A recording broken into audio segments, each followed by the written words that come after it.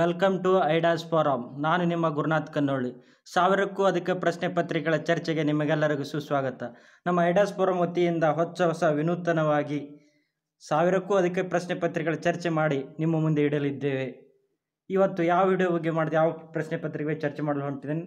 ಎರಡು ಸಾವಿರದ ಹದಿನೆಂಟರಲ್ಲಿ ನಡೆದ intelligence P S I exam ಪ್ರಶ್ನೆ ಪತ್ರಿಕೆ ಬಗ್ಗೆ ಈ ವಿಡಿಯೋದಲ್ಲಿ ಚರ್ಚೆ ಮಾಡೋಣ. ಅದಕ್ಕಿಂತ ಮುಂಚೆ ಯಾರು ನಮ್ಮ ಟೆಲಿಗ್ರಾಮ್ ಚಾನಲ್ ಜಾಯ್ನ್ ಆಗದೇ ಇದ್ದವರು, ಅಲ್ಲಿ ಕೂಡ ಬೇಗ ಜಾಯ್ನ್ ಆಗಿ. ಅದರಿಂದ ನಿಮ್ಗೆ ಏನು ಬೆನಿಫಿಟ್ ಅಪ್ಪ ಅಂತಂದರೆ ಡೈಲಿ ಕ್ವಿಜ್ ಕಂಡಕ್ಟ್ ಮಾಡ್ತಾ ಇದ್ದೀವಿ ಪ್ರತಿ ವಿಡಿಯೋಗಳ P D F daily news paper ಇತ್ತೀಚಿನ ಮಾಹಿತಿ ಜಾಬ್ ನೋಟಿಫಿಕೇಷನು ಅದಲ್ಲದೆ ನೀವು ಐಡಾಸ್ ಫಾರಂ ಅಧ್ಯಾಪಕರೊಂದಿಗೆ ಪ್ರಶ್ನೆಗಳನ್ನು ಕೇಳಿ ಬಗೆಹರಿಸಿಕೊಳ್ಳಬಹುದು ಕೂಡ ನಮ್ಮ ಟೆಲಿಗ್ರಾಮ್ ಚಾನಲ್ ನಿಮ್ಗೆ ಲಭ್ಯ ಇದೆ. ಯಾರು ಇನ್ನೂ ಜಾಯ್ನ್ ಆಗಿಲ್ಲ ಅಂತಂದರೆ ದಯವಿಟ್ಟು ಜಾಯ್ನ್ ಆಗಿ. ಇಂಟೆಲಿಜೆನ್ಸಿ ಎಕ್ಸಾಮ್ ಬಗ್ಗೆ ಎರಡು ಸಾವಿರದ ಹದಿನೆಂಟರಲ್ಲಿ ನಡೆದಿತ್ತು. ಆ ಪ್ರಶ್ನೆ ಪತ್ರಿಕೆ ಬಗ್ಗೆ ಈ ವಿಡಿಯೋದಲ್ಲಿ ಚರ್ಚೆ ಮಾಡೋಣ. ನಾವು ಪ್ರತಿ ವಿಡಿಯೋದಲ್ಲಿ ಯಾವ ಥರ ಮಾಡ್ತಾ ಇದೀವಿ ಅಂತಂದರೆ ಒಂದರಿಂದ ಐವತ್ತು ಪ್ರಶ್ನೆಯನ್ನು ಪಾರ್ಟ್ ಒನ್ ಮಾಡ್ತಾ ಇದ್ದೀವಿ. ಇನ್ನು ಐವತ್ತೊಂದರಿಂದ ನೂರು ಪ್ರಶ್ನೆಗಳನ್ನು ಪಾರ್ಟ್ ಟು ಪ್ರತಿ ವಿಡಿಯೋಗಳ ಪ್ಲೇ ಲಿಸ್ಟನ್ನು ಕೆಳಗೆ ಡಿಸ್ಕ್ರಿಪ್ಷನ್ ಬಾಕ್ಸ್ನಲ್ಲಿ ಕೊಡಲಾಗಿದೆ. Question paper part one part two ಪ್ರತಿ ವಿಡಿಯೋದು ಅಲ್ಲಿ ಕೂಡ ನೀವು ನೋಡಬಹುದು. ಈಗ ಸ್ಟಾರ್ಟ್ ಮಾಡೋಣ. ಫಸ್ಟ್ ಪ್ರಶ್ನೆ, ಈ ಕೆಳಗಿನ ಘಟನೆಗಳನ್ನು ಕಾಲಾನುಕ್ರಮಕ್ಕೆಯಲ್ಲಿ ಜೋಡಿಸಿ. ಆಪ್ಷನ್ಸ್ ಇದು ಪ್ರಶ್ನೆ ನೋಡಿ. ಆಗಸ್ಟ್ ಪ್ರಸ್ತಾಪ, ಪುಣೆ ಒಡಂಬಡಿಕೆ ಇದು ಏನು ಆಗ್ಬೇಕಿತ್ತಂತಂದ್ರೆ ಮೂರನೇದು, ಮೂರನೇ ದುಂಡು ಮೇಜಿನ ಸಮ್ಮೇಳನ ಇಲ್ಲಿ ಥರ್ಡ್ ಅಂತ ಮಾಡ್ಕೊಳ್ಳಿ ಇದು. ಮೂರನೇ ದುಂಡು ಮೇಜಿನ ಸಮ್ಮೇಳನ. ಅವ ನೋಡಿ ಏನನ್ಸ್ಕೊಟ್ಟಿದ್ದಾನೆ ಕೊಟ್ಟಿದ್ದಾನೆ ಆಪ್ಷನ್ಸ್ ನೋಡಿ. ಒಂದು, ಎರಡು, ಮೂರು. ಮೂರು, ಎರಡು, ಒಂದು. ಎರಡು, ಮೂರು, ಒಂದು. ಒಂದು, ಮೂರು, ಎರಡು. ಯಾವುದಪ್ಪ ಸರಿಯಾದ ಆನ್ಸರ್ ಅಂತಂದರೆ, ಎರಡು, ಮೂರು, ಒಂದು. ಏನು ನೋಡಿ? ಆಗಸ್ಟ್ ಪ್ರಸ್ತಾಪ ಆಗ ನಿಮಗೆ ಗೊತ್ತಿರಬೇಕು ಹತ್ತೊಂಬತ್ತು ನೂರ ನಲ್ವತ್ತು ಆಗಸ್ಟ್ ತಿಂಗಳಲ್ಲಿ. ಇದು ಪುಣೆ ಒಡಂಬಡಿಕೆ ಅಂತಂದರೆ ಪುಣೆ ಒಪ್ಪಂದ. ಗಾಂಧೀಜಿ ಮತ್ತು ಅಂಬೇಡ್ಕರ್ ನಡುವೆ ಇತ್ತು. ಯಾವಾಗಪ್ಪ ಅಂತಂದರೆ ನಿಮಗೆ ಗೊತ್ತಿರಬೇಕು, ಒಪ್ಪಂದ ಆಗೋದು ಹತ್ತೊಂಬತ್ತು ನೂರ ಮೂವತ್ತೆರಡು ಹತ್ತೊಂಬತ್ತು ನೂರ ಮೂವತ್ತೆರಡು. ಸೆಪ್ಟೆಂಬರ್ ಇಪ್ಪತ್ತೈದರಂದು ಪುಣೆ ಒಪ್ಪಂದ ಆಗುತ್ತೆ. ಸೆಪ್ಟೆಂಬರ್ ಇಪ್ಪತ್ತೈದು, ಗಾಂಧಿ ಮತ್ತು ಅಂಬೇಡ್ಕರ್ ನಡುವೆ ಪುಣೆ ಒಪ್ಪಂದ. ಸೆಪ್ಟೆಂಬರ್ ಇಪ್ಪತ್ತೈದು. ಇನ್ನು ಮೂರನೇ ದುಂಡು ಮೇಜಿನ ಸಮ್ಮೇಳನ ನಿಮಗೆ ಗೊತ್ತಿರಬೇಕು. ಹತ್ತೊಂಬತ್ತು ನೂರ ಮೂವತ್ತೆರಡು ನವಂಬರ್ ತಿಂಗಳಲ್ಲಿ ಹತ್ತೊಂಬತ್ತು ನೂರ ಮೂವತ್ತೆರಡು ನವಂಬರ್ ಹದಿನೇಳರಂದು ನಡೀತು, ಮೂರನೇ ದುಂಡು ಮೇಜಿನ ಸಮ್ಮೇಳನ. ಯಾವ ನೋಡಿ, ಪ್ರಶ್ನೆಗೆ ನಡೆದಿದ್ದು ಪುಣೆ ಒಡಂಬಡಿಕೆ ಹತ್ತೊಂಬತ್ತು ಮೂವತ್ತೆರಡು ಸೆಪ್ಟೆಂಬರ್ ಹದಿನೇಳು. ಇನ್ನು ಮೂರನೇ ದುಂಡು ಮೇಜಿನ ಸಮ್ಮೇಳನ ನಿಮ್ಗೆ ಗೊತ್ತಿರಬೇಕು ಹತ್ತೊಂಬತ್ತು ಮೂವತ್ತೆರಡು ನವಂಬರ್ ಹದಿನೇಳು. ಇನ್ನು ಆಗಸ್ಟ್ ಪ್ರಸ್ತಾಪ ಅಂತಂದ್ರೆ ಆಗಸ್ಟ್ ಆಫರ್ ಹತ್ತೊಂಬತ್ತರ ನಲವತ್ತು. ಯಾವ್ದು ಫಸ್ಟ್ ಬರಬೇಕು? ಟೂ ತ್ರೀ ಒನ್ ಆಗಬೇಕಿತ್ತು. ಪುಣೆ ಪುಣೆ ಒಡಂಬಡಿಕೆ, ಮೂರನೇ ದುಂಡು ಮೇಜಿನ ಸಮ್ಮೇಳನ, ಆಗಸ್ಟ್ ಪ್ರಸ್ತಾಪ. ಇದು ಸರಿಯಾದ ಆನ್ಸರ್ ಇನ್ನು ಎರಡನೇ ಪ್ರಶ್ನೆ ನೋಡಿ. ಈ ಕೆಳಗಿನವುಗಳಲ್ಲಿ ಅಲ್ಬರ್ಟ್ ಬಿಲ್ ವಿವಾದಕ್ಕೆ ಸಂಬಂಧಿಸಿದ ವೈಸರಾಯ್ ಯಾರು? ಆಪ್ಷನ್ಸ್ ನೋಡಿ. Lord Curzon, Lord Lytton, Lord Ripon Lala Lajpat Rai. ಯಾರಪ್ಪ ನೋಡಿ? ಆನ್ಸರ್ ಅಂತಂದರೆ ಸರಿಯಾದ ಆನ್ಸರ್ ನೋಡಿ. ಲಾರ್ಡ್ ರಿಪ್ಪನ್ ಅವರು. ಏನಿದು ಇಲ್, ಇಲ್ಬರ್ಟ್ ಬಿಲ್ ಅಂತ ಅಲ್ಬರ್ಟ್ ಬಿಲ್ ಅಂತಂದರೆ ಹದಿನೆಂಟುನೂರ ಎಂಬತ್ತೆರಡರಲ್ಲಿ ಏನು ಮಾಡ್ತಾರೆ ಲಾರ್ಡ್ ರಿಪ್ಪನ್ ಅವರು? ಒಂದು ಸಮಿತಿ ನೇಮ್, ನೇಮಿಸ್ತಾರೆ. ಯಾವ ಸಮಿತಿಯಪ್ಪ ಅಂತಂದರೆ ಕರ್ಟಿನಿನ್ ಪೆರಿಗ್ಯೂ ಇಲ್ಬರ್ಟ್ ಅಂತ ಇದು ಬರುತ್ತೆ. ಇಲ್ಬರ್ಟ್ ಆಗ್ಬೇಕಿತ್ತು, ಇಲ್ಬರ್ಟ್. ಅವ್ರ ಹೆಸರೇನು? ಕರ್ಟಿನೋ ಪೆರೆಗ್ರಿನ್ ಅಲ್ ಇಲ್ಬರ್ಟ್. ಎಷ್ಟಾಗಂತ ಹದಿನೆಂಟುನೂರ ಎಂಬತ್ತೆರಡರ. ಆದ್ರೆ ಏನಪ್ಪ ಸಮಿತಿ ಶಿಫಾರಸು ಏನಿರ್ತದೆ ಅಂತಂದರೆ, ಭಾರತೀಯ ನ್ಯಾಯಾಧೀಶರು ಕೂಡ ಬ್ರಿಟಿಷ್ ಆರೋಪಿಗಳನ್ನು ಬಗ್ಗೆ ಪ್ರಶ್ನಿಸು ಅವಕಾಶ ಇರ್ತೈತಿ. ಏನದಕ್ಕೆ ಇನ್ನೊಂದ್ಸರಿ ಹೇಳ್ತೀನಿ ನೋಡಿ. ಭಾರತೀಯ ವಕೀಲರು ಕೂಡ ಯುರೋಪಿಯನ, ಯುರೋಪಿಯನ್ನರ ಆರೋಪಿಗಳನ್ನು ಪ್ರಶ್ನಿಸಲು ಅವಕಾಶ ಇರ್ತೈತಿ ಇದು. Ilbert bill. ಅವಾಗ ಯಾರು ವಯಸ್ಸರ ಸಮಿತಿ ಮಾಡಿರ್ತಾರೆ, ಲಾರ್ಡ್ ರಿಪ್ಪನ್. ಇವರನ್ನು ಏನಂತ ಕರೀತಾರೆ? ಸ್ಥಳೀಯ ಸರ್ಕಾರಗಳ ಪಿತಾಮಹ. ಸ್ಥಳೀಯ ಸರ್ಕಾರಗಳ ಪಿತಾಮಹ ಅಂತ ಕರೀತಾರೆ ರಿಪ್ಪನನ್ನು. ಅದು ನೆನಪಿನಲ್ಲಿ ಇಟ್ಕೊಳ್ಳಿ. ಮತ್ತು ಮೂರನೇ ಪ್ರಶ್ನೆ ನೋಡಿ. ಯಾವ ಕ್ರಾಂತಿಕಾರಿಯು ಓರ್ವ ತತ್ವ ತತ್ವಜ್ಞಾನಿ ಬದ, ಆಗಿ ಬದಲಾದರು? ಏನು ಪ್ರಶ್ನೆ ನೋಡಿ. ಯಾವ ಕ್ರಾಂತಿಕಾರಿಯು ಓರ್ವ ತತ್ವಜ್ಞಾನಿಯಾಗಿ ಬದಲಾದರು? ಆಪ್ಷನ್ಸ್ ನೋಡಿ. ಅರವಿಂದ್ ಘೋಷ್ ಚಿತ್ತರಂಜನ್ ದಾಸ್ ಬಾಲಗಂಗಾಧರ ತಿಲಕ್, ಲಾರ್ಡ್ ಹಾರ್ಡಿಂಗ್ ಯಾರು ನೋಡಿ ಆನ್ಸರ್ ಇದು? ಅರವಿಂದ್ ಘೋಷ್ ಅವರು. ಆನ್ಸರ್ ಯಾವುದು? ಅವ್ರು ಮೊದಲು ಕ್ರಾಂತಿಕಾರಿ ಇರ್ತಾರೆ. ಆಮ್ಯಾಗ ಏನಾಗ್ತಾರೆ? ತತ್ ಕ್ರಾಂತಿಕಾರಿ ಇರ್ತಾರೆ ಮೊದಲು ಅರವಿಂದ್ ಘೋಷ್ ಅವರು. ಅವ್ರು ಸ್ಥಾಪಿಸಿದ ಆಶ್ರಮ ನೋಡಿ, ಕೇಳ್ತಾರೆ ಆಶ್ರಮ ಯಾವುದಪ್ಪ? ಹತ್ತೊಂಬತ್ತು ನೂರ ಇಪ್ಪತ್ತಾರಲ್ಲಿ ಸ್ಥಾಪಿಸ್ತಾರೆ? ಪಾಂಡಿಚೇರಿಯಲ್ಲಿ ಅರವಿಂದು ಆಶ್ರಮ ಸ್ಥಾಪಿಸ್ತಾರೆ. ಯಾವ ಆಶ್ರಮ? ಪಾಂಡಿಚೇರಿಯಲ್ಲಿ ಅರವಿಂದು ಆಶ್ರಮ. ಪಾಂಡಿಚೇರಿಯಲ್ಲಿ ಹತ್ತೊಂಬತ್ತು ನೂರ ಇಪ್ಪತ್ತಾರದಾಗ ಯಾವ ಆಶ್ರಮ? ಅರವಿಂದು ಆಶ್ರಮ. ಎಲ್ಲಿದೆ ಕೇಳ್ತಾರೆ? ಪಾಂಡಿಚೇರಿ. ಇವ್ರು ಯಾವ ಪುಸ್ತಕ ಹೊರಡಿಸ್ತಾರೆ ಅಂತಂದರೆ ಅರವಿಂದ್ ಅವರು. ಅರವಿಂದ್ ಘೋಷ್ ವರ್ತಮಾನ ರಣನೀತಿ ಯಾವ ವರ್ತಮಾನ ರಣನೀತಿ ಪತ್ರಿಕೆ ಹೊರಡಿಸ್ತಾರೆ ಇವರು. ಇವರು ಬಿರುದುಗಳದಾವೆ, ಇವ್ರಿಗೆ ಗುರು ಅಂತ ಕರೀತಾರೆ. ಕವಿ, ಕ್ರಾಂತಿಕಾರಿ ಯೋಗಿ, ಇವರು ಅರವಿಂದ್ ಘೋಷರ ಬಿರುದೇನು ಕ್ರಾಂತಿಕಾರಿ ಯೋಗಿ. ಕ್ರಾಂತಿಕಾರಿ ಯೋಗಿ ಅಂತೂ ಕರೀತಾರೆ ಇವರಿಗೆ. ಇವರೇನು ಗುರು ಅಂತೂ ಕರೀತಾರೆ, ಕವಿ ಅಂತಂದು ಕರೀತಾರೆ. ನೆಕ್ಸ್ಟ್ ನೋಡಿ. ಹತ್ತೊಂಬತ್ತು ನೂರ ಇಪ್ಪತ್ತೆರಡರ ಫೆಬ್ರವರಿ ಐದರಂದು ನಡೆದ ಚೌರಿ ಚೌರಿ ಘಟನೆ ನಡೆದ ಸ್ಥಳ ಈ ಜಿಲ್ಲೆಯಲ್ಲಿದೆ. ಆಪ್ಷನ್ಸ್ ನೋಡಿ, ಝಾನ್ಸಿ, ಗೋರಖ್ಪುರ್, ಹರ್ದೋಯಿ, ಚಂದೋಲಿ ಎಲ್ಲಿದೆ ಅಂತಂದರೆ ಉತ್ತರ ಪ್ರದೇಶದ ಗೋರಖ್ಪುರ್. ಇದು ಚೌರಿ ಚೌರಿ ನಿಮ್ಮ ಘಟನೆ ಗೊತ್ತಿರಬೇಕು. ಹತ್ತೊಂಬತ್ತು ನೂರ ಇಪ್ಪತ್ತೆರಡು ಕೊಟ್ಟಿದ್ದಾನೆ ಫೆಬ್ರವರಿ ಐದು. ಏನು ಮಾಡ್ತಾರಪ್ಪ ಅಂದ್ರೆ ಭಾರತೀಯ ಹೋರಾಟಗಾರರು ಬ್ರಿಟಿಷ್ ಪೊಲೀಸ್ ಸ್ಟೇ, ಸ್ಟೇಷನ್ ಮೇಲೆ ದಾಳಿ ಮಾಡ್ತಾರೆ. ಇಪ್ಪತ್ತೆರಡು ಪೊಲೀಸರನ್ನು ದಹನ ಮಾಡ್ತಾರೆ. ಅಸಹಕಾರ ಚಳವಳಿ ಇಲ್ಲಿಗೆ ನಿಲ್ಲಿಸ್ತಾರೆ. ಗಾಂಧಿಯವರು ಅವಾಗ ಯಾವ ಚಳವಳಿ ಸ್ಟಾರ್ಟ್ ಮಾಡ್ತಾರೆ ಅಂತಂದರೆ ದಂಡಿ ಸತ್ಯಾಗ್ರಹ. ಕಾನೂನು ಭಂಗ ಚಳವಳಿ ಸ್ಟಾರ್ಟ್ ಮಾಡ್ತಾರೆ. ಕಾನೂನು ಭಂಗ ಚಳವಳಿ ಕೈಗೊಳ್ತಾರೆ ಇದು. ಅಸಹಕಾರ ಚಳವಳಿ ಇಲ್ಲಿಗೆ ನಿಲ್ಲಿಸಿ. ಅವಾಗ ಏನಾಗುತ್ತೆ ಅಂತಂದರೆ ಗಾಂಧೀಜಿಯವರು ಜೈಲಿಗೆ ಹಾಕ್ತಾರೆ ಈ ಚಳವಳಿಯಲ್ಲಿ. ಚೌರಿ ಚೌರ ಘಟನೆಯಿಂದ. ಐದನೇ ಪ್ರಶ್ನೆ. ಡ್ಯಾಶ್ ಅನ್ನು ಅನೇಕ ವೇಳೆ ಭಾರತ ಪ್ರಥಮ ಸ್ವಾತಂತ್ರ್ಯ ಸಂಗ್ರಾಮ ಎಂದು ಉಲ್ಲೇಖಿಸಲಾಗುತ್ತದೆ ಅಂತ ಹೇಳ್ತಾರೆ. ಯಾವ ನೋಡಿ ಆಪ್ಷನ್ಸು ಹದಿನೆಂಟುನೂರ ಐವತ್ತಾರರ ದಂಗೆ ಹದಿನೆಂಟುನೂರ ಐವತ್ನಾಲ್ಕರ ದಂಗೆ ಹದಿನೆಂಟುನೂರ ಐವತ್ತೇಳರದಂಗೆ ಹದಿನೆಂಟುನೂರ ಐವತ್ತೆಂಟರದಂಗೆ ಯಾವುದಿದು ಭಾರತ ಪ್ರಥಮ ಸ್ವಾತಂತ್ರ್ಯ ಸಂಗ್ರಾಮ? ನಿಮ್ಗೆ ಗೊತ್ತಿರಬೇಕು ಭಾರತ ಪ್ರಥಮ ಸ್ವಾತಂತ್ರ್ಯ ಸಂಗ್ರಾಮ. ಹದಿನೆಂಟುನೂರ ಐವತ್ತೇಳರದಂಗೆ ಎಲ್ಲಿ ನಡೀತಿತ್ತು ಪ್ರಥಮ ಅಂತಂದ್ರೆ ಹದಿನೆಂಟುನೂರ ಐವತ್ತೇಳು ಮೀರತ್ನಲ್ಲಿ ನಡೀತು ಫಸ್ಟ್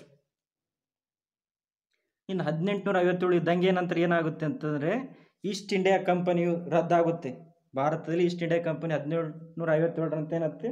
ರದ್ದಾಗುತ್ತೆ. ಯಾವಾಗ ಏನಾಗುತ್ತೆ? ಡೈರೆಕ್ಟಾಗಿ ಇಂಗ್ಲೆಂಡಿನ ಬ್ರಿಟಿಷ್ ರಾಣಿ ಕೈ ಹೋಗುತ್ತೆ, ವರ್ಗಾವಣೆ ಆಗುತ್ತೆ ಇದು ಭಾರತ ಸರ್ಕಾರದ್ದು. ಮುಂದೆ ವೈಸರಾಯ್ ಹುದ್ದೆ ಸೃಷ್ಟಿಸ್ತಾರೆ, ಹದಿನೆಂಟುನೂರ ಐವತ್ತಾರು, ಐವತ್ತೆಂಟರಲ್ಲಿ ವೈಸರಾಯ್ ಹುದ್ದೆ ಸೃಷ್ಟಿಸ್ತಾರೆ. ಅವಾಗ ಯಾರಪ್ಪ ಇರ್ತಂದ್ರೆ ಲಾರ್ಡ್ ಕ್ಯಾನಿಂಗ್. ಹದಿನೆಂಟುನೂರ ಐವತ್ತ ಏಳರಲ್ಲಿ ಕೂಡ ಅವರೇ ಇರ್ತಾರೆ. ಭಾರತ ಗವರ್ನರ್ ಜನರಲ್ ಆಗಿರ್ತಾರೆ ಹದಿನೆಂಟುನೂರ ಐವತ್ತೇಳರಲ್ಲಿ. ಅವಾಗ ಯಾರು? Lord Canning. ಮುಂದೆ ಅವರೇ ಕಂಟಿನ್ಯೂ ಆಗ್ತಾರೆ ವಯಸ್ಸರಾಗಿ. ಅವರೇ ಮುಂದುವರಿತಾರೆ. ಆರನೇ ಪ್ರಶ್ನೆ ನೋಡಿ. ಈ ಕೆಳಗಿನವರಲ್ಲಿ ಗಡಿನಾಡ ಗಾಂಧಿ ಎಂದು ಜನಪ್ರಿಯರಾದವರು ಯಾರು? ಆಪ್ಷನ್ಸ್ ನೋಡಿ. ಇಕ್ಬಾಲ್ ಖಾನ್, ಮೌಲಾನಾ ಅಬ್ದುಲ್ ಕಲಾಂ ಆಜಾದ್, ಖಾನ್ ಅಬ್ದುಲ್ ಗಫರ್ ಖಾನ್, ಹಸ್ರತ್ ಮೊಹೋನಿ. ಯಾರು ಗಡಿನಾಡ ಗಾಂಧಿ ಅಂತಂದು ಕರೀತಾರೆ? ಖಾನ್ ಅಬ್ದುಲ್ ಗಫರ್ ಖಾನ್ ಏನು ಖಾನ್ ಅಬ್ದುಲ್ ಗಫರ್ ಖಾನ್. ಇವರನ್ನ ಗಡಿನಾಡ ಗಾಂಧಿ ಅಂತ ಕರೀತಾರೆ. ಮತ್ತು ಇವರು ಸ್ಥಾಪಿಸಿದ ಕೆಂಪಂಗಿ ದಳ. ಖಾನ್ ಅಬ್ದುಲ್ ಗಫಾನ್ ಖಾನ್ ಅವರು ಕೆಂಪಂಗಿ ದಳ ಸ್ಥಾಪಿಸ್ತಾರೆ ಮತ್ತು ಖಿದಾಯಿ ಖಿದ್ಮತ್ಗಾರ್, ಖುದಾಯಿ ಖಿದ್ಮತ್ಗಾರ್ ಸಂಘಟನೆ ಸ್ಥಾಪಿಸ್ತಾರೆ. ಮತ್ತು ಭಾರತ ರತ್ನ ಪಡಿತಾರೆ ಇವರು. ಭಾರತ ರತ್ನ ಪಡೆದ ಪಾಕಿಸ್ತಾನಿ ವ್ಯಕ್ತಿ ಖಾನ್ ಅಬ್ದುಲ್ ಗಫರ್ ಖಾನ್ ಅವರು. ಮತ್ತು ಇವರು ಮೌಲಾನಾ ಅಬ್ದುಲ್ ಆಜಾದ್ ಕಲಾಂ ಬಗ್ಗೆ ನೋಡೋದಾದರೆ ಇವರು ಭಾರತ ಮೊದಲ ಶಿಕ್ಷಣ ಮಂತ್ರಿ ನೋಡಿ ಇವರು. ಯಾರು? ಮೌಲಾನಾ ಅಬ್ದುಲ್ ಆಜಾದ್ ಕಲಾಂ ಅವರು. ಭಾರತದ ಮೊದಲ ಶಿಕ್ಷಣ ಮಂತ್ರಿ ಕೇಳ್ತಾರೆ ಯಾರು ಅಂತಂದರೆ ಮೌಲಾನಾ ಅಬ್ದುಲ್ ಕಲಾಂ ಆಜಾದ್ ಅವರು. ಇವ್ರು ಇನ್ನೊಂದು ಏನಾಗಿರ್ತಾರೆ? ಇವ್ರ ಐ ಎನ್ ಸಿ ಅಧ್ಯಕ್ಷರಾದ ಅತಿ ಕಿರಿಯ ವ್ಯಕ್ತಿ ಯಾರಪ್ಪ ಅಂತಂದ್ರೆ ಮೌಲಾನಾ ಅಬ್ದುಲ್ ಕಲಾಂ ಆಜಾದ್ ಅವರು. ಏಳನೇ ಪ್ರಶ್ನೆ ನೋಡಿ. ಈ ಕೆಳಗಿನವರಲ್ಲಿ ಚಿತ್ತಗಂಗಾ ಶಸ್ತ್ರಗಾರ ದಾಳಿ ಹಿಂದಿದ್ದ ಆಲೋಚನೆ ಕೂಸು ಯಾರದಾಗಿತ್ತು? ಆಪ್ಷನ್ಸ್ ನೋಡಿ. ಲಾಲಾ ಹರಿದಯಾಳ್, ಚಂದ್ರಶೇಖರ್ ಆಜಾದ್, ಗಣೇಶ್ ಘೋಷ್, ಸೂರ್ಯಸೇನ್. ಯಾರಪ್ಪ ಅಂತಂದ್ರೆ ಚಿತ್ರಗಂಗಾ ದಾಳಿದು ಸೂರ್ಯಸೇನ್ ಅವರು. Surya Sen, option D. ಏನಂತಂದ್ರೆ ಇದು ಚಿತ್ರಗಂಗಾ ದಾಳಿ ಅಂತಂದ್ರೆ ಇದಕ್ಕೆ ಏನು ಪ್ಲ್ಯಾನ್ ಹಾಕಿರ್ತಾರೆ ಅವರು? ಈಗಿನ ಪ್ರಸ್ತುತ ಎಲ್ಲಿದೆ ಚಿತ್ತಗಂಗಾ, ಬಾಂಗ್ಲಾದೇಶದಲ್ಲಿದೆ ಚಿತ್ರಗಂಗಾ ಎಷ್ಟು ಹಾಕಿರ್ತಾರೆ? ಹತ್ತೊಂಬತ್ತು ನೂರ ಮೂವತ್ತೆಂಟರ ಹಾಕಿರ್ತಾರೆ ಅವ್ರು ಪ್ಲ್ಯಾನ್ ಹತ್ತೊಂಬತ್ತು ನೂರ ಮೂವತ್ತೆಂಟು ಏಪ್ರಿಲ್ ತಿಂಗಳಲ್ಲಿ ಸೂರ್ಯಸೇನವ್ರು ಪ್ಲಾನ್ ಪ್ಲ್ಯಾನ್ ಹಾಕಿರ್ತಾರೆ. ಬ್ರಿಟಿಷ್ ಕಚೇರಿ ಮೇಲೆ ದಾಳಿ ಮಾಡೋ ಪ್ಲ್ಯಾನ್ ಹಾಕಿರ್ತಾರೆ. ಅವಾಗ ವಿಫಲ ಆಗುತ್ತೆ ಇದು ದಾಳಿ.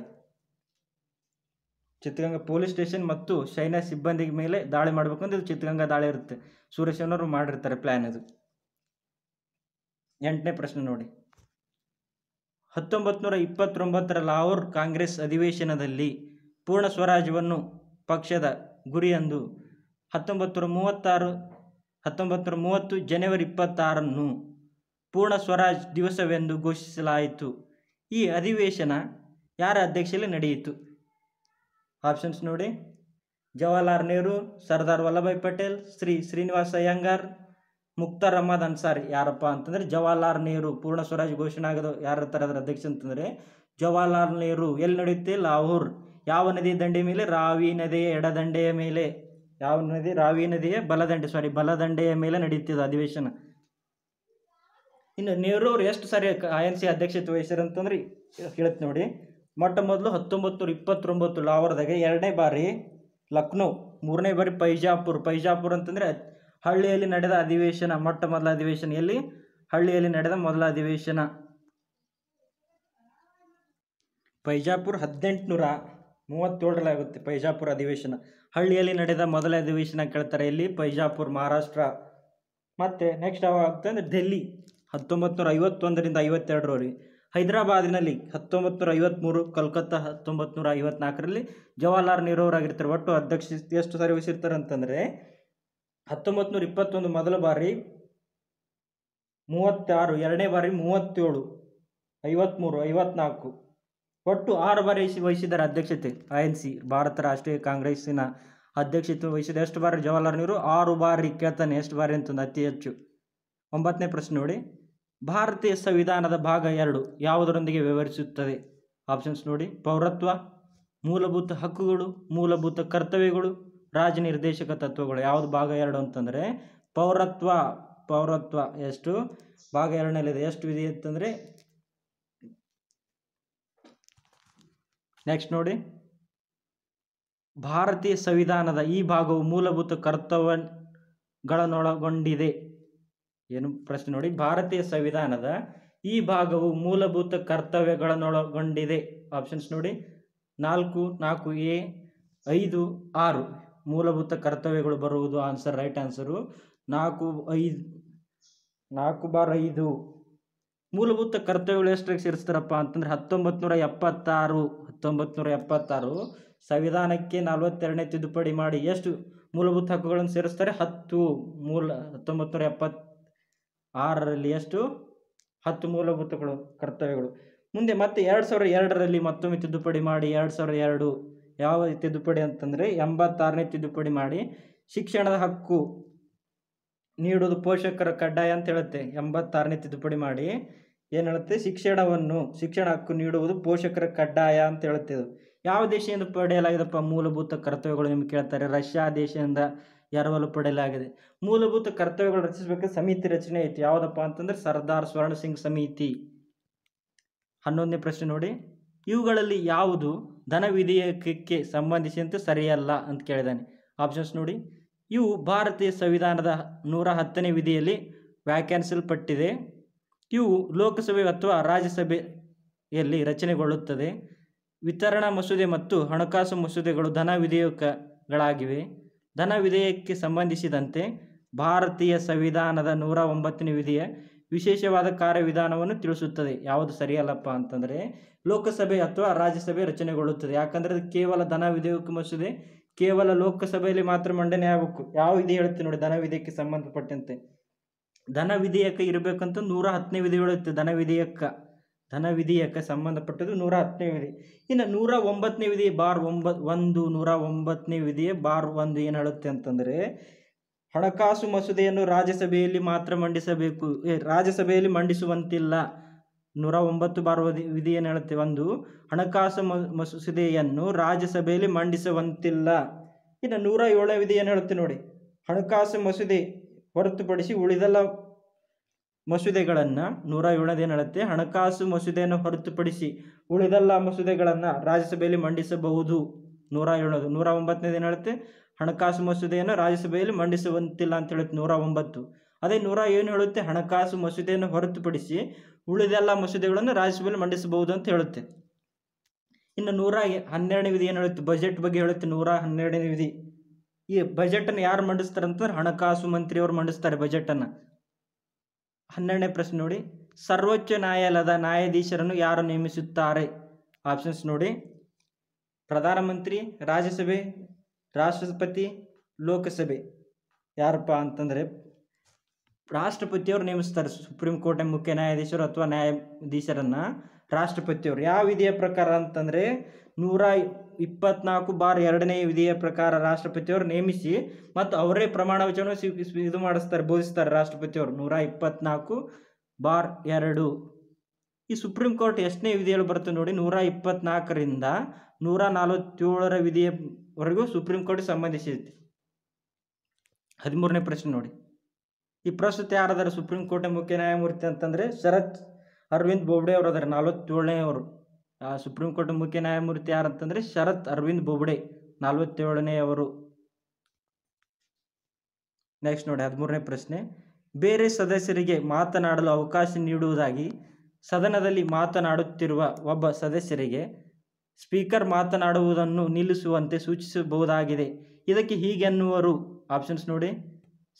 ಸದನ ಶರಣಾಗತಿ ಅಥವಾ ಇಲ್ಡಿಂಗ್ ದಿ ಫ್ಲೋರ್ ಸದನ ಪ್ರತಿಬಂ, ಪ್ರತಿಬಂಧ ಬಾರಿಂಗ್ ದಿ ಫ್ಲೋರ್ ಸದನ ವಿರಾಮ ಸೀಸಿಂಗ್ ದಿ ಫ್ಲೋರ್ ಇನ್ ಇಂಗ್ಲೀಷ್ನಲ್ಲಿ ಸದನ ಛೇದನ ಅಂತಂದರೆ ಕ್ರಾಸಿಂಗ್ ದಿ ಫ್ಲೋರ್ ಯಾವುದಾಗುತ್ತೆ ಅಂತಂದರೆ ಸ್ಪೀಕರ್ ಅನು, ಅನುಮೋದನೆ ಮಾಡಿಕೊಡೋದಂತಂದರೆ ಇಲ್ಡಿಂಗ್ ದಿ ಫ್ಲೋರ್ ಸದನ ಶರಣಾಗತಿ.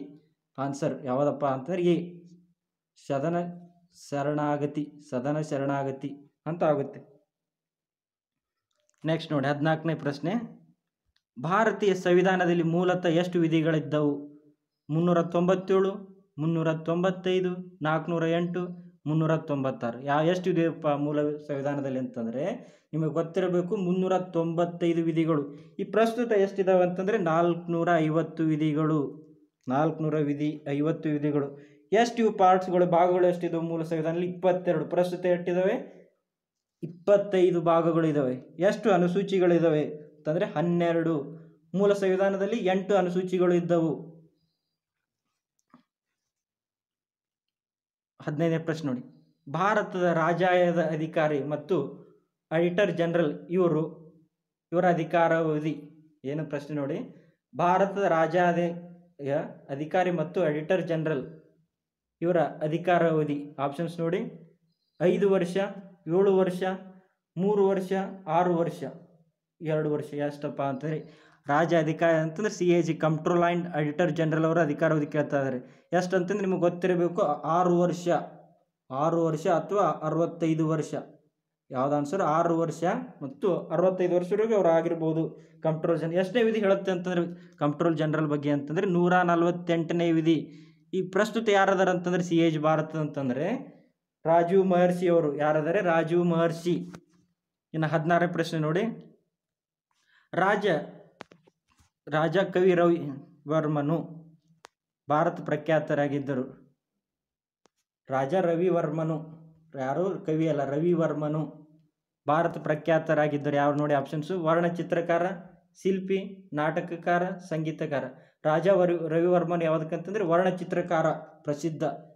ಇವ್ರು ಯಾವ ರಾಜ್ಯದವ್ರು ನಿಮ್ಗೆ ಕೇಳ್ತಾರೆ? ಕೇರಳ ರಾಜ್ಯದವರು ಕೇರಳ ರಾಜ್ಯದವರು ರವಿ, ರಾಜ ರವಿವರ್ಮನ್ ಅವರು. ಹದಿನೇಳನೇ ಪ್ರಶ್ನೆ ನೋಡಿ. ಈ ದಿನವನ್ನು ರಾಷ್ಟ್ರೀಯ ಮತದಾರರ ದಿನವೆಂದು ಆಚರಿಸಲಾಗುತ್ತದೆ ಅಂತ ಹೇಳಿದ್ದಾನೆ ಆಪ್ಷನ್ಸ್ ನೋಡಿ. ಜನವರಿ ಇಪ್ಪತ್ತಾರು, ಜನವರಿ ಇಪ್ಪತ್ತೈದು, ಜನವರಿ ಇಪ್ಪತ್ನಾಲ್ಕು, ಜನವರಿ ಇಪ್ಪತ್ತ್ಮೂರು ಯಾವುದದಕ್ಕೆ ಸರಿಯಾದ ಆನ್ಸರ್ ಅಂತಂದರೆ ಜನವರಿ ಇಪ್ಪತ್ತೈದು. ಯಾಕೆ ಆಚರಣೆ ಮಾಡ್ತಾರೆ ಅಂತಂದ್ರೆ ಹತ್ತೊಂಬತ್ತು ನೂರ ಐವತ್ತು ಜನವರಿ ಇಪ್ಪತ್ತೈದರಂದು ಏನಾಗುತ್ತೆ? ಚುನಾವಣೆ ಆಯೋಗ ರಚನೆ ಆಗುತ್ತೆ. ಭಾರತ ಮೊದಲ ಚುನಾವಣಾ ಆಯೋಗ. ಯಾವಾಗ? ಹತ್ತೊಂಬತ್ತು ನೂರ ಐವತ್ತು ಜನವರಿ ಇಪ್ಪತ್ತೈದರಂದು. ಯಾರು ಮೊದಲು ಮುಖ್ಯ ಚುನಾವಣೆ ಆಗ್ತಾರೆ ಸುಕುಮಾರ ಸೇನ್. ಸುಕುಮಾರ ಸೇನ್ ಅವರಾಗ್ತಾರೆ. ಯಾವ ವಿಧಿ ಅಂತಂದರೆ ಮುನ್ನೂರ ಇಪ್ಪತ್ನಾಲ್ಕನೇ ವಿಧಿ. ಪ್ರಸ್ತುತ ಯಾರಿದ್ದಾರೆ ಅಂತಂದರೆ ಸುನಿಲ್ ಕುಮಾರ್ ಅರೋರಾ ಅವರಿದ್ದಾರೆ. ಪ್ರಸ್ತುತ ಸುನಿಲ್ ಕುಮಾರ್ ಅರೋರಾ, ಸುನಿಲ್ ಅರೋರಾ. ಎಷ್ಟನೇದವರು ಅಂದರೆ ಇಪ್ಪತ್ತ್ಮೂರನೇದವರು ಹದಿನೆಂಟನೇ ಪ್ರಶ್ನೆ ಇದು ನೋಡಿ, ಅದಕ್ಕಿಂತ ಆಪ್ಷನ್ಸ್ ನೋಡಿ. ಜನವರಿ ಇಪ್ಪತ್ತಾರು ಯಾವ ದಿನ ಆಚರಣೆ ಅಂದ್ರೆ ಭಾರತ ಗಣರಾಜ್ಯೋತ್ಸವ ನಿಮ್ಗೆ ಗೊತ್ತಿದೆ. ಜನವರಿ ಇಪ್ಪತ್ನಾಲ್ಕು ರಾಷ್ಟ್ರೀಯ ಹೆಣ್ಣು ಮಗುವಿನ ದಿನ.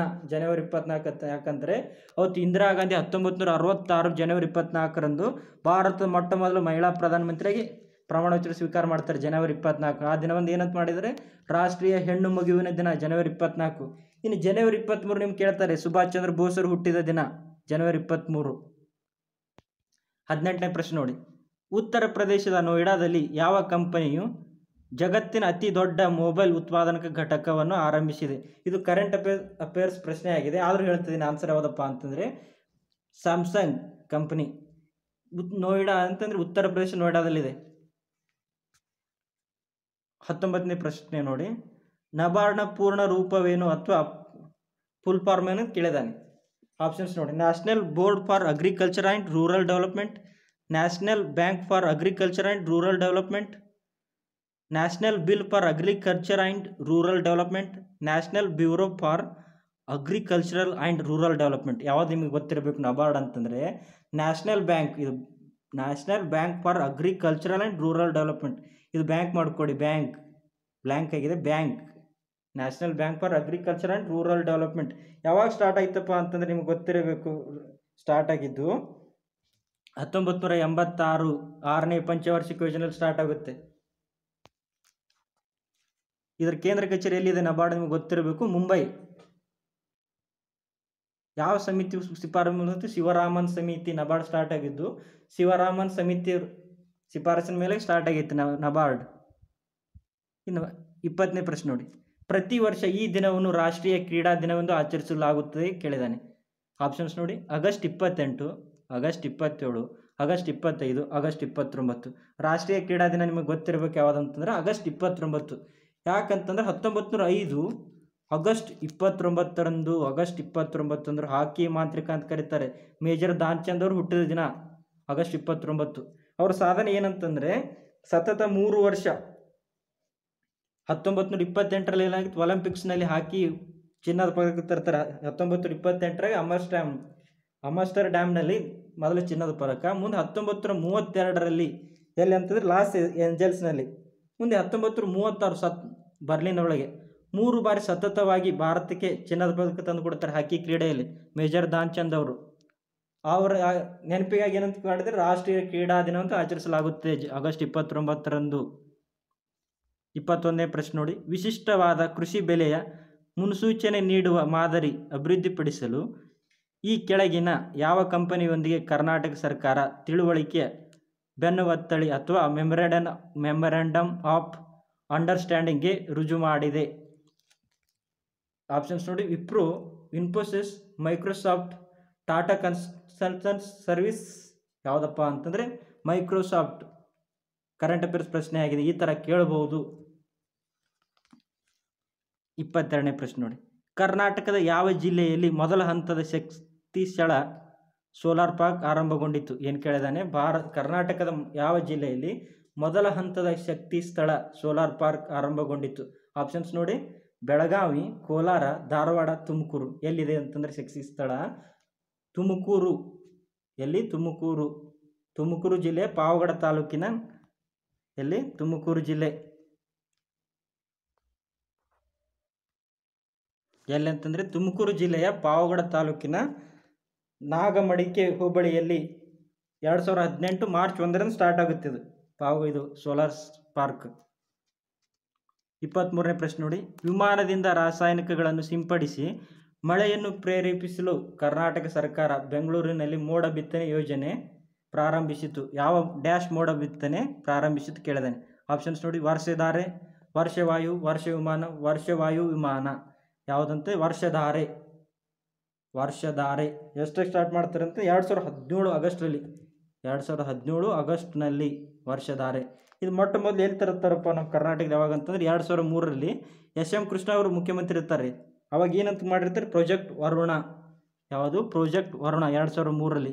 ಇನ್ನು ಮಳೆಯನ್ನು ಬಿತ್ತನೆ ಮಾಡೋಕೆ ಯಾವ್ದು ಕೆಮಿಕಲ್ ಸಿಂಪಡಿಸ್ತಾರೆ ಅಂತಂದರೆ ಸಿಲ್ವರ್ ಅಯೋಡೈಡ್ ಸಿಲ್ವರ್ ಅಯೋಡೈಡ್ ಯಾವುದು? ಸಿಲ್ವರ್ ಅಯೋಡೈಡ್ ಅಥವಾ ಪೊಟ್ಯಾ ಮತ್ತು ಪೊಟ್ಯಾಷಿಯಂ ಅಯೋಡೈಡನ್ನು ಎರಡು ಸಿಂಪಡಿಸ್ತಾರೆ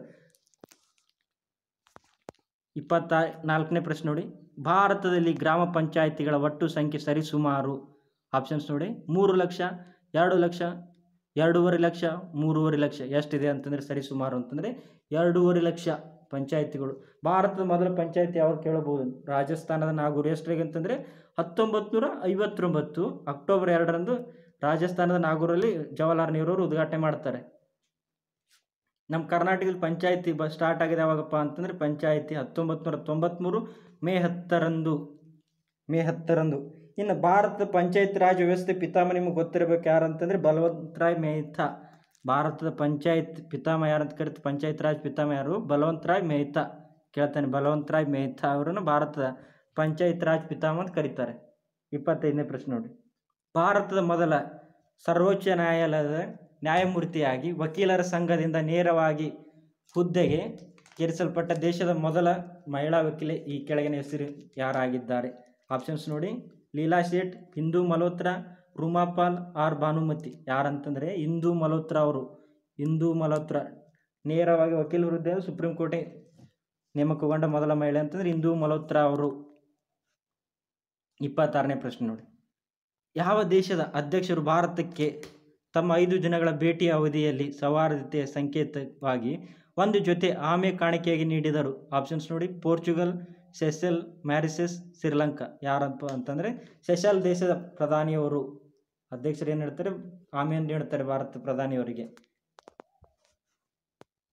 ಇಪ್ಪತ್ತೇಳನೇ ಪ್ರಶ್ನೆ ನೋಡಿ. ಐ ಎನ್ ಎಸ್ ಕರ್, ಕಾರಂಜ್ ಇದೊಂದು ಡ್ಯಾಶ್ ಆಗಿದೆ. ಆಪ್ಷನ್ಸ್ ನೋಡಿ. ಸಬ್ಮರೀನ್ ವಿಮಾನವಾಹಕ ನೌಕೆ ಲಘು ಯುದ್ಧ ವಿಮಾನ ಯುಟಿಲಿಟಿ ಹೆಲಿಕಾಪ್ಟರ್ ಯಾವುದಪ್ಪ ಅಂತಂದರೆ submarine I N S Karanj submarine ಇದು ನಾವು ಏನಾಗಿತ್ತು ಅಂತಂದರೆ ಇದು ನೌಕಾಪಡೆ, ಭಾರತ ನೌಕಾಪಡೆ ಡೀಸೆಲ್ ಚಾಲಿತ ಸಬ್ಮರೀನ್ ಆಗಿದೆ ಇದು ಯಾವುದರಿಂದ? ಡೀಸೆಲ್ ಚಾಲಿತ ಸಬ್ಮರೀನ್ ಇದು ಐ ಎನ್ ಎಸ್ ಕಾರಂಜ್. ಇಪ್ಪತ್ತೆಂಟನೇ ಪ್ರಶ್ನೆ ನೋಡಿ.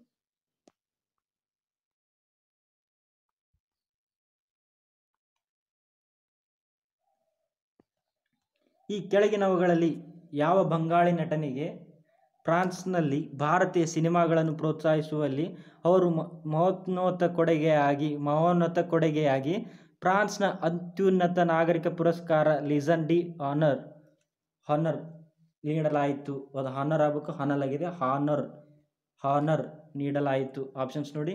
ಸಯಂತಿಕಾ ಬ್ಯಾನರ್ಜಿ, ಅಜಿತ್ ಬಂಡೋಪಾಧ್ಯಾಯ, ಸೌಮಿತ್ರಾ ಚಟರ್ಜಿ ಅನುಬ್ರತ್ ಬಸು ಅನುಬ್ರತ್ ಬಸು. ಯಾವುದಪ್ಪ ಸರಿಯಾದ ಅಂತಂದ್ರೆ ಸಮುದ್ರ ಚಟರ್ಜಿ ಅವರಿಗೆ ಇವ್ರು ಯಾವುದು ಬಂಗಾಳಿ ಭಾಷೆ ನಟರು ಇವರು. ಚಿತ್ರರಂಗ ಬಂಗಾಳಿ ಭಾಷೆ ನಟರು ಇವರು.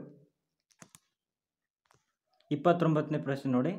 ಜಗತ್ತಿನ ಕಚ್ಚಾ ಉಕ್ಕಿನ ಅತಿ ದೊಡ್ಡ ಉತ್ಪಾದಕ ರಾಷ್ಟ್ರ ಯಾವುದು ಕೇಳಿದ್ದಾನೆ. ಕಚ್ಚಾ ಉಕ್ಕಿನ ಅತಿ ದೊಡ್ಡ ಉತ್ಪಾದಕ ರಾಷ್ಟ್ರ ಯಾವುದು? ಆಪ್ಷನ್ಸ್ ನೋಡಿ. ಜಪಾನು, ದಕ್ಷಿಣ ಕೊರಿಯಾ, ಭಾರತ, ಚೈನಾ. ಯಾವುದಪ್ಪ ಸರಿಯಾದ ಉತ್ತರ ಅಂತಂದರೆ, ಚೈನಾ ಅತಿ ಹೆಚ್ಚು ಉಕ್ಕಿನ ಏನಂತಾರೆ, ಉತ್ಪಾದಕ ರಾಷ್ಟ್ರವೇ ಚೈನಾ ಫಸ್ಟ್ ವರ್ಲ್ಡಲ್ಲಿ ಚೈನಾ. ಅದಾದ ನಂತರ ಜಪಾನು. ನಮ್ಮ ಥರ್ಡ್ ಭಾರತ ಇದೆ, ಮೂರನೇ ಸ್ಥಾನದಲ್ಲಿ ನಮ್ಮ ಭಾರತ. ಫಸ್ಟ್ ಯಾವ್ದು ಹೇಳ್ತೀನಿ? ಚೈನಾ. ಅದಾದ ನಂತರ ಜಪಾನು. ಥರ್ಡ್ ಚೈನಾ, ಏ ಥರ್ಡ್ ಇಂಡಿಯಾ ಮೂವತ್ತನೇ ಪ್ರಶ್ನೆ ನೋಡಿ. ಎರಡು ಸಾವಿರ ಹದಿನೆಂಟರ ಗಣರಾಜ್ಯದ ದಿನದ ಪರೇಡ್ನಲ್ಲಿ ಯಾವ ರಾಜ್ಯ ಅತ್ಯುತ್ತಮ ಟ್ಯಾಬ್ಲೋ ಪ್ರಶಸ್ತಿ ಪಡೆಯಿತು? ಆಪ್ಷನ್ಸ್ ನೋಡಿ, ಕರ್ನಾಟಕ, ಮಹಾರಾಷ್ಟ್ರ, ಮಧ್ಯಪ್ರದೇಶ್, ರಾಜಸ್ಥಾನ್. ಅವಾಗ ಯಾವ್ದಾಗಿತ್ತಂತಂದರೆ, ಎರಡು ಸಾವಿರದ ಹದಿನೆಂಟರಲ್ಲಿ ಮಹಾರಾಷ್ಟ್ರ. ಯಾವುದು ಮಹಾರಾಷ್ಟ್ರ ಪಡೆಯಿತು ಈ ಎರಡು ಸಾವಿರದ ಇಪ್ಪತ್ತರಲ್ಲಿ ಯಾವ್ದು ರಾಜ್ಯ ಪಡೆದಿದೆ ಅಂತಂದರೆ ಅಸ್ಸಾಂ ಪ್ರಥಮ ಸ್ಥಾನ ಪಡೆದಿದೆ ಟ್ಯಾಬ್ಲೋ, ಅತ್ಯುತ್ತಮ ಟ್ಯಾಬ್ಲೋ. ಇನ್ನು ಎರಡನೇ ಸ್ಥಾನ ಯಾವ ಪಡೆದಿದೆ ನಿಮಗೆ ಗೊತ್ತಿರಬೇಕು? ಒಡಿಶಾ ಮತ್ತು ಉತ್ತರ ಪ್ರದೇಶ ಪಡೆದಿದೆ. ಮೂವತ್ತೊಂದನೇ ಪ್ರಶ್ನೆ ನೋಡಿ. ವಿಕ್ರಮಾರ್ಜುನ ವಿಜಯ ಗ್ರಂಥ ಕರ್ತೃ ಯಾರು ಕೇಳಿದಾನೆ? ಆಪ್ಷನ್ಸ್ ನೋಡಿ. ರನ್ನ, ಜನ್ನ, ಪಂಪ, ಮೂರನೇ ಸೋಮೇಶ್ವರ. ಯಾರಂತಂದ್ರೆ ಪಂಪ ಅವರು ಬರೀತಾರೆ. ವಿಕ್ರಮಾರ್ಜುನ ವಿಜಯ ಅಥವಾ ಪಂಪ ಭಾರತ ಅಂತ ಕರೀತಾರೆ ಇದನ್ನು. ಪಂಪ ಭಾರತ ಅಥವಾ ವಿಕ್ರಮಾರ್ಜುನ ವಿಜಯ. ಅವ್ರದ್ದು ಇನ್ನೊಂದು ಬರ್ದಾರೆ ಕನ್, ಯಾವುದಪ್ಪ ಅಂತಂದ್ರೆ ಆದಿ ಪುರಾಣ. ಇವರು ಪಂಪ, ರನ್ನ, ಪನ್ನ ಇವ್ರು ಏನಾಗ್ತಾರೆ ರತ್ನತೇರು. ಇನ್ನು ಇವರು ಪಂಪರು ಯಾರ ಯಾರ ಆಸ್ಥಾನದಲ್ಲಿ ಇರ್ತಾರೆ ಅಂದರೆ ಎರಡನೇ ಅರಿಕೇಸರಿ ಯಾರ ಆಸ್ಥಾನದಲ್ಲಿ? ಎರಡನೇ ಅರಿಕೇಸರಿ ಅಲ್ಲಿ ಯಾವ ಮನೆತನ ಅಂತಂದ್ರೆ ಚಾಲುಕ್ಯ ಮನೆತನದ ಎರಡನೇ ಅರಿಕೇಸರಿ ಆಸ್ಥಾನದಲ್ಲಿ ಇರ್ತಾರೆ ಪಂಪನು. ಮೂವತ್ತೆರಡನೇ ಪ್ರಶ್ನೆ ನೋಡಿ. ವಿಜಯಪುರದ ಆದಿಲ್ ಶೈ ವಂಶದ ಸ್ಥಾಪಕ. ಆಪ್ಷನ್ಸ್ ನೋಡಿ ಇಸ್ಮಾಯಿಲ್ ಆದಿಲ್ ಶಾಹಿ ಇಬ್ರಾಹಿಂ ಆದಿಲ್ ಶಾಹಿ ಯೂಸಫ್ ಆದಿಲ್ ಶಾಹಿ ಮೊಹಮ್ಮದ್ ಆದಿಲ್ ಶಾಹಿ ಯಾರಪ್ಪ ಅಂತಂದ್ರೆ ನಿಮಗೆ ಗೊತ್ತಿರಬೇಕು. ವಿಜಯಪುರ ಆದಿಲ್ ಶಾಹಿ ಮನೆತನ ಸ್ಥಾಪಕ ಯಾರಂದ್ರೆ ಯೂಸಫ್ ಆದಿಲ್ ಶಾಹಿ ಅವರು ಯೂಸಫ್ ಆದಿಲ್ ಶಾಹಿ ಮೊಹಮ್ಮದ್ ಆದಿಲ್ ಶಾಹಿ ಏನು ಮಾಡ್ತಾನೆ? ಗೋಲ್ ಗುಂಬಸ್ ನಿರ್ಮಿಸ್ತಾನೆ. ಇಬ್ರಾಹಿಂ ಆದಿಲ್ ಶಾಹಿ ಎರಡನೇ ಇಬ್ರಾಹಿಂ ಆದಿಲ್ ಶಾಹಿ ಬಾ, ದಕ್ಕನ್ ದಕ್ಷಿಣ ಭಾರತದ ತಾಜ್ ಮಹಲ್ ಅಂತ ಕರೀತಾರೆ. ಇಬ್ರಾಹಿಂ ರೋಜಾನ್ ಕಟ್ತಾರೆ. ಇಬ್ರಾಹಿಂ ಆದಿಲ್ ಶಾಹಿ ಎರಡನೇ ಇಬ್ರಾಹಿಂ ಆದಿಲ್ ಶಾಹಿ ಮೂವತ್ತ್ಮೂರನೇ ಪ್ರಶ್ನೆ ನೋಡಿ. ಶಂಕರಾಚಾರ್ಯರು ಜನಪ್ರಿಯಗೊಳಿಸಿದ ತತ್ವಜ್ಞಾನವಿದು. ಆಪ್ಷನ್ಸ್ ನೋಡಿ, ದ್ವೈತ, ಅದ್ವೈತ, ವಿಶಿಷ್ಟ ಅದ್ವೈತ, ಮೇಲಿನ ಯಾವುದು ಅಲ್ಲ, ಯಾವುದು ಗೊತ್ತಿರಬೇಕು ಶಂಕರಾಚಾರ್ಯರದು. ಅದ್ವೈತ, ಇದ್ರ ಬಗ್ಗೆ ಟ್ರಿಕ್ಸ್ ಮಾಡಿದ್ದೀವಿ ನಮ್ಮ ಐಡಸ್ ಪರಮತಿಯಿಂದ ಅಲ್ಲಿ ಕೂಡ ನೀವು ಇದರ ಟ್ರಿಕ್ಸನ್ನು ನೋಡ್ಬೋದು. ವಿವಿಧ ಸಿದ್ಧಾಂತ, ಸಿದ್ಧಾಂತಕರ ಬಗ್ಗೆ ಟ್ರಿಕ್ಸ್ ಮಾಡಿದ್ದೀವಿ ಪ್ರತಿಯೊಂದು ಸಾಮಾಜಿಕ ಸುಧಾರಕರ ಬಗ್ಗೆ ಟ್ರಿಕ್ಸ್ ಇದೆ. ಅಲ್ಲಿನೂ ಕೂಡ ನೀವು ನೋಡ್ಬೋದು. ಇವ್ರು ಏನು ಭಾವಿಸ್ತಾರಪ್ಪ ಶಂಕರಾಚಾರ್ಯ ಅಂತ, ಜೀವಾತ್ಮ, ಪರಮಾತ್ಮ ಎರಡೂ ಒಂದೇ ಅಂತ ಹೇಳ್ತಾರೆ ಇವರು. ಶಂಕರಾಚಾರ್ಯ ಏನು ಹೇಳ್ತಾರೆ ಜೀವಾತ್ಮ ಮತ್ತು ಪರಮಾತ್ಮ ಎರಡೂ ಒಂದೇ ಹೇಳ್ತಾರೆ ಇವರು. ಇನ್ನು ಮತ್ತು ಅಹಂ ಬ್ರಹ್ಮಾಸ್ಮಿ, ಇವರು ಪ್ರಸಿದ್ಧ ವಾಕ್ಯ ಯಾವುದು? ಅಹಂ ಬ್ರಹ್ಮಾಸ್ಮಿ ಶಂಕರಾಚಾರ್ಯರು. ಮೂವತ್ನಾಲ್ಕನೇ ಪ್ರಶ್ನೆ ನೋಡಿ. ಕಟ್ಟೆಯು ನಾವು ಹೊಸ ನಾಡೊಂದನ್ನು ಕವನದ ಸಾಲುಗಳನ್ನು ಬರೆದವರು ಕೇಳಿದ್ದಾರೆ. ಆಪ್ಷನ್ಸ್ ನೋಡಿ. ಕುವೆಂಪು ಅವರು ದರಾ ಬೇಂದ್ರೆ ಬೀಚಿ, ಗೋಪಾಲಕೃಷ್ಣ, ಅಡಿಗ. ಯಾರಪ್ಪ ಹೇಳಿದವರು ಕಟ್ಟೆಯು ನಾವು ಹೊಸ ನಾಡೊಂದನ್ ಅಂತ ಹೇಳಿದವರು? ಗೋಪಾಲಕೃಷ್ಣ, ಅಡಿಗ ಅವರು. ಗೋಪಾಲಕೃಷ್ಣ ಅಡಿಗ ಅವರು ಇವ್ರ ಕವನಗಳು ನೋಡಿ ಪ್ರಸಿದ್ಧ ಕವನಗಳು. ಭಾವತರಂಗ, ನಡೆದು ಬಂದ ದಾರಿ ಭೂಮಿಗೀತೆ ಇವರ ಆತ್ಮಚರಿತ್ರೆ ಒಂದೈತೆ ಇವ್ರದ್ದು. ಗೋಪಾಲಕೃಷ್ಣ ಅವ್ರದ್ದು, ಅಡಿಗೆ ಅವ್ರದ್ದು ಆತ್ಮಚರಿತ್ರೆ ಯಾವುದಂತಂದರೆ, ನೆನಪಿನ ಗಣಿಯಿಂದ, ಏನಪ್ಪ ಅವ್ರ ಆತ್ಮಚರಿತ್ರೆ? ನೆನಪಿನ ಗಣಿಯಿಂದ ಕೇಳ್ತಾನೆ. ನೆನಪಿನ ಗಣಿಯಿಂದ ಇವರ ಆತ್ಮಚರಿತ್ರೆ ಯಾವುದು? ನೆನಪಿನ ಗಣಿಯಿಂದ ಅಂತಿದೆ ಗೋಪಾಲಕೃಷ್ಣ ಅಡಿಗೆ ಅವ್ರದ್ದು. ಇನ್ನು ಮೂವತ್ತೈದನೇ ಪ್ರಶ್ನೆ ನೋಡಿ. ಶ್ರೇಷ್ಠ ದೊರೆ ಕೃಷ್ಣ ದೇವರಾಯ ವಿಜಯನಗರವನ್ನು ಆಳಿದ ಕಾಲ. ಆಪ್ಷನ್ಸ್ ನೋಡಿ. ಹದಿನಾಲ್ಕುನೂರ ಹತ್ತರಿಂದ ಹದಿನಾಲ್ಕುನೂರ ಮೂವತ್ತು, ಹದಿನಾಲ್ಕುನೂರ ಎಂಬತ್ತರಿಂದ ಹದಿನೈದುನೂರು, ಹದಿನೈದುನೂರ ಹತ್ತರಿಂದ ಹದಿನೈದುನೂರ ಮೂವತ್ತು, ಹದಿನೈದುನೂರ ಮೂವತ್ತೈದರಿಂದ ಹದಿನೈದುನೂರ ಐವತ್ತೈದು. ಯಾವುದಪ್ಪ ಅಂತ ಅಂದರೆ ಸರಿಯಾದ ಉತ್ತರ, ಹದಿನೈದುನೂರ ಹತ್ತರಿಂದ ಹದಿನೈದುನೂರ ಮೂವತ್ತು. ಶ್ರೀಕೃಷ್ಣ ದೇವರಾಯ ಒಡೆಯರ ಆಸ್ಥಾನ ಇವರು ಆಳಿದವು. ಆದರೆ ಆ್ಯಕ್ಚುಲಿ ಇವ್ರು ಯಾವ ಮನೆತನ ಅಂತಂದರೆ ತುಳು ಮನೆತನದವರು, ವಿಜಯನಗರದ ತುಳು ಮನೆತನ. ಇವ್ರದ್ದು ಆ್ಯಕ್ಚುಲಿ ಆಳೋದು ಹದಿನೈದುನೂರ ಒಂಬತ್ತರಿಂದ ಹದಿನೈದುನೂರ ಇಪ್ಪತ್ತೊಂಬತ್ತು. ಆದರೆ ಇಲ್ಲಿ ಆಪ್ಷನ್ಸ್ ಕೊಟ್ಟಿದ್ದು ಹದಿನೈದುನೂರ ಹತ್ತರಿಂದ ಹದಿನೈದುನೂರ ಮೂವತ್ತು ಕೊಟ್ಟಿದ್ದಾರೆ.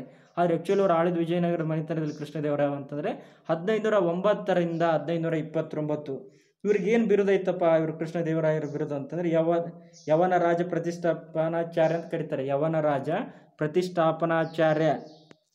ಇವ್ರಿಗೆ ಏನಂತಾರೆ ಕರ್ನಾಟಕ ಆಂಧ್ರ ಭೋಜ ಅಂತ ಕರೀತಾರೆ ಕೃಷ್ಣದೇವರಾಯನ ಮೂವತ್ತಾರನೇ ಪ್ರಶ್ನೆ ನೋಡಿ. ಕರ್ನಾಟಕದಲ್ಲಿರುವ ಹುಲಿ ಮೀಸಲು ಅರಣ್ಯಗಳು ಆಪ್ಷನ್ಸ್ ನೋಡಿ ಒಂದು, ಎರಡು, ಮೂರು, ಐದು.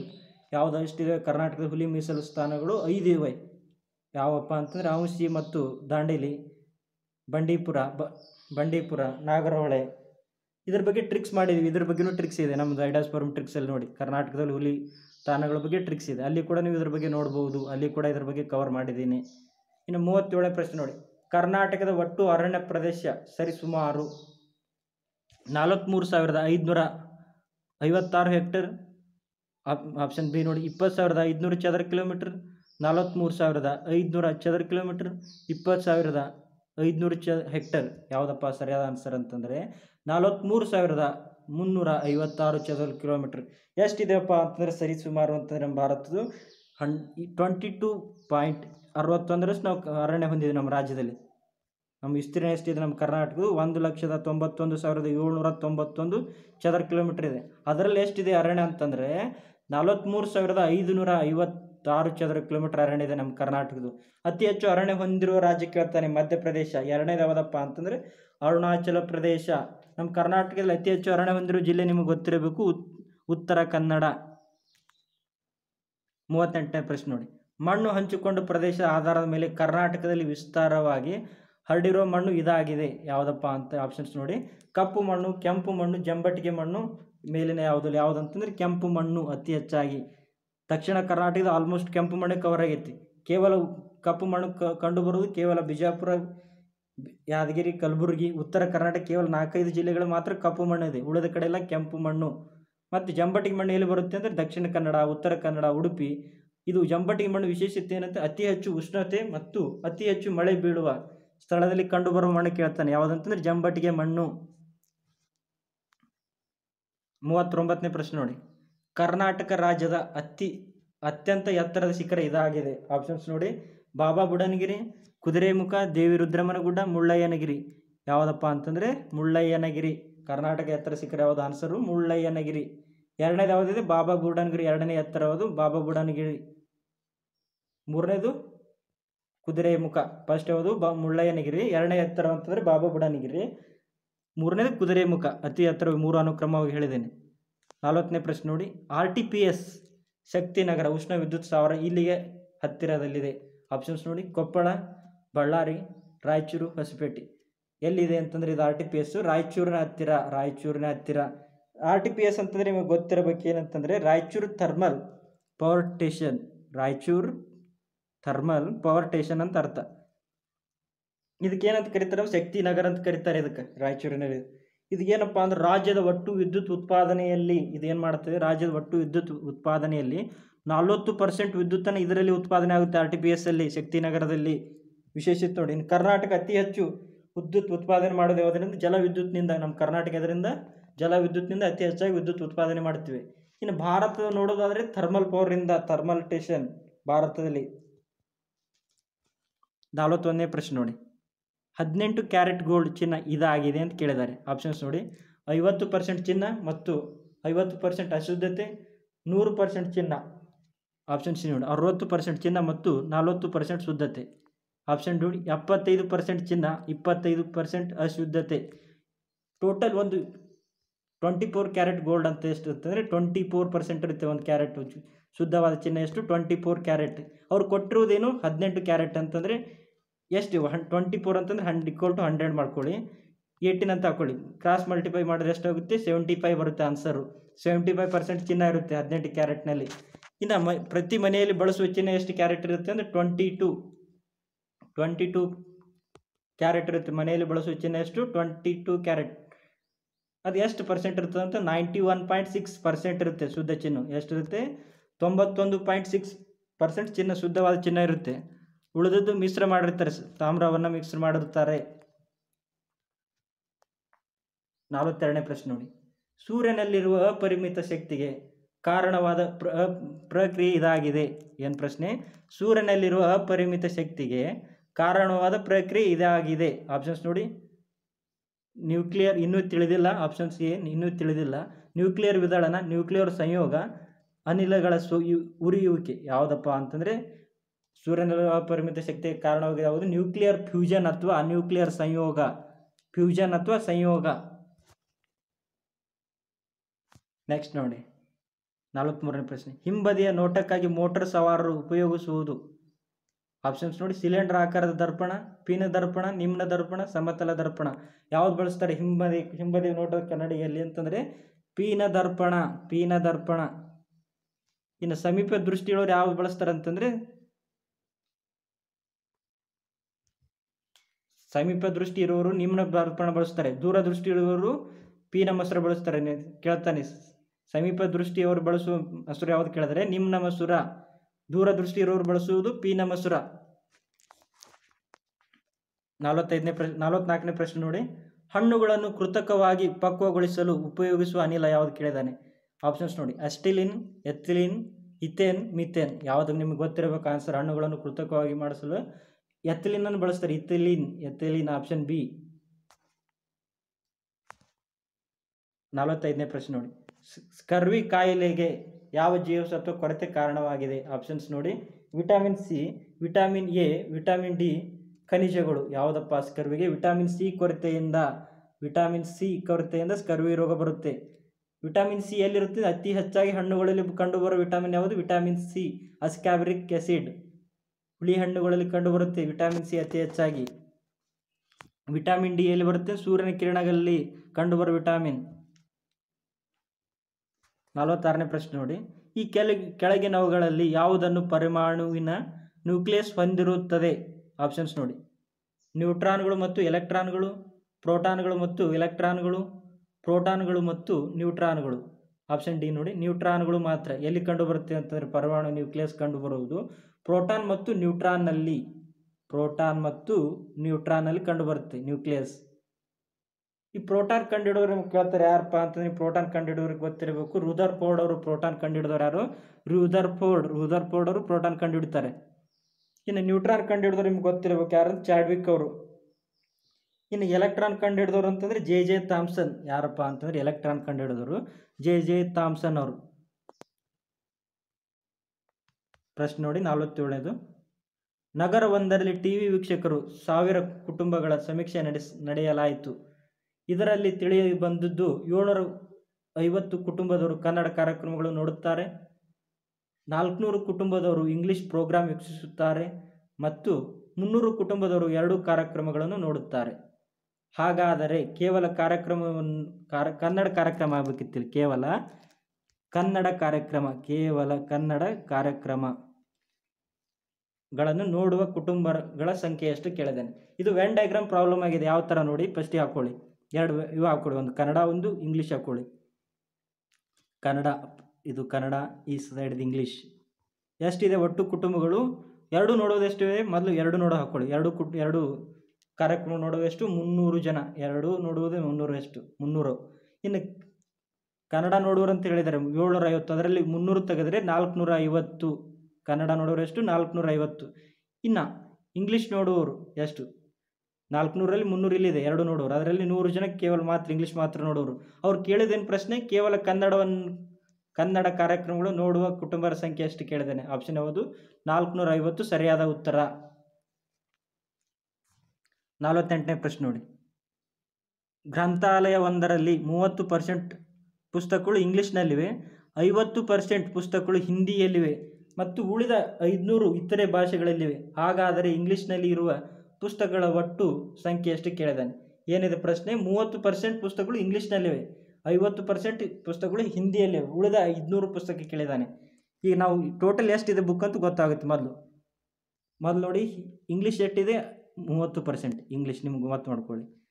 ಮತ್ತು ಹಿಂದಿ ಎಷ್ಟಿದೆ? ಐವತ್ತು ಪರ್ಸೆಂಟ್ ಹಿಂದಿ. ಉಳಿದಿದ್ದು ಎಷ್ಟು ಹೇಳಿದಾನೆ? ಐದುನೂರು ಅಂತ ಹೇಳಿದಾನೆ. ಎಷ್ಟು ಪರ್ಸೆಂಟ್ ನಮ್ಗೆ ಗೊತ್ತಿಲ್ಲ. ಉಳಿದು ನಿಮ್ಗೆ ಗೊತ್ತಾಗಬೇಕು ಎಂಬತ್ತು ಅಂತೂ ಗೊತ್ತಾಗುತ್ತೆ. ಮೂವತ್ತು ಪ್ಲಸ್ ಐವತ್ತೆಷ್ಟು ಎಂಬತ್ತು.